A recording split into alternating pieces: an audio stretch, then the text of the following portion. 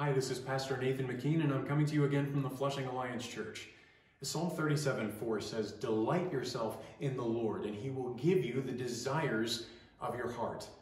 But you know, sometimes I think we focus too much on the second part of that, our desires, and not enough on the first, delighting in God.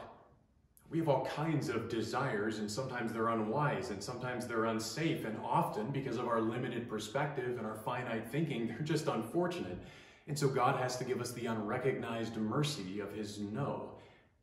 But when we delight in Him, that is to say, when we find our whole being in knowing Him and following Him and enjoying Him, not just His gifts and His blessing, but His character and His word and His presence, then the desires of our heart will be shaped by his influence, and we will find ourselves more and more wanting all of the things that he so joyfully desires to give to us his plans, his purposes, his peace, and we have his promise that for all those things and more, we have the expectation of his yes and his amen in Christ. And it all begins by delighting in him. I'm Pastor Nathan. I hope to see you again. God bless.